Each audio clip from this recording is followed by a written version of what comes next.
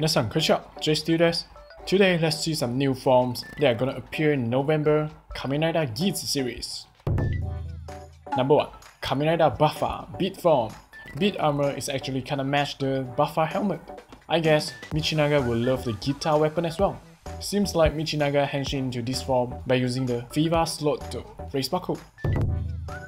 Number 2. Kamen Rider Buffa Ninja Form. Purple helmet plus green armor not really match, are going to see this form in the episode 10. Number 3. Kamen Rider Fever, Magnum, and Fever Boost Form. This new power form is henshin by using the Fever slot buckle. I think the concept of this buckle is like a slot machine. Rotate the slot and see what form or item you get. So it's just random. Number 4. Kamen Rider Nago Beat Form. We are also able to see Nago personal form in the episode 10. Nago Beat Form.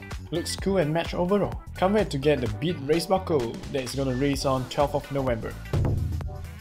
Number 5. Kamen Keirou Ninja Form and Kamen Rider Reta Propeller Form. Of course, we are gonna see these two new riders joining DGP in episode 10, so stay tuned. Besides that, the trailer of the Winter Movie 2022 is out today. Kamen Rider Geats and Revice movie Battle Royale.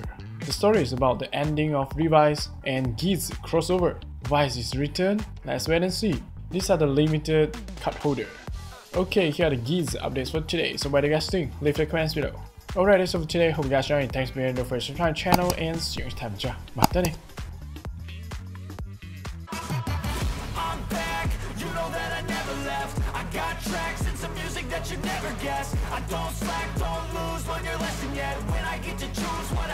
like a weapon sharp as many, but got hard